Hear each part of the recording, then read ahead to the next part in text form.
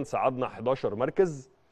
بعد وصلنا للقاء النهائي في بطولة آه، أفريقيا أو بطولة كأس الأمم الإفريقية. كمان كنا أصحاب المركز الرابع عربيا بقينا الثاني عربيا خلف المغرب. كنا أصحاب التصنيف السادس افريقيا صعدنا إلى المركز الرابع. كل الكلام ده نستفيد منه إيه؟ إن إحنا طلعنا نقطة كبيرة أو طلعنا خطوة كبيرة جدا لقدام. ونستفيد من الكلام ده إن فكرة التصنيف بالتأكيد هي مهمة بالتأكيد ليها عامل كبير جدا ولكن في الآخر أدائك في أرض الملعب والجهد والعرق اللي أنت بتبذله في أرض الملعب هو المعيار الأساسي والأول. كنا كلنا بنتكلم قبل كأس الامم الافريقيه هنلاعب مين وإحنا في التصنيف الثاني وإحنا والقصة والموضوع وفي الآخر شفنا إن إحنا رحنا كأس الامم الافريقيه كسبنا آه، منتخبات مصنفة.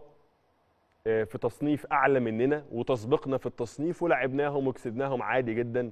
لعبنا السنغال اللي هي صاحبة التصنيف الأقوى والأول في أفريقيا في ماتش النهائي.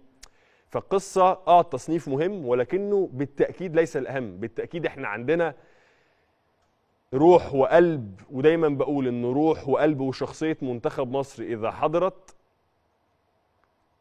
الجميع يتضاءل وكل التحديات وكل المشاكل والصعوبات اللي ممكن تواجهك بتتضاءل دايما روح وشخصية منتخب مصر وعاده أو في كل حتة في الدنيا سواء منتخب مصر أو غير منتخب مصر روح وقلب اللعيبة في أرض الملعب بتذلل أي فوارق فنية وده إحنا شفناه مع. شفناه مع منتخب مصر على مدار التاريخ في تفاصيل كتيرة جدا إزاي أنت ممكن تكون مش صاحب التصنيف الأعلى بس أدائك وجهدك وروحك في الملعب وقتالك في الملعب ده بيكون دايما ليه الأفضلية إن هو يميزك عن أي فرقة بتقابلها. إذا حضرت شخصية وروح منتخب مصر الجميع يتضاءل.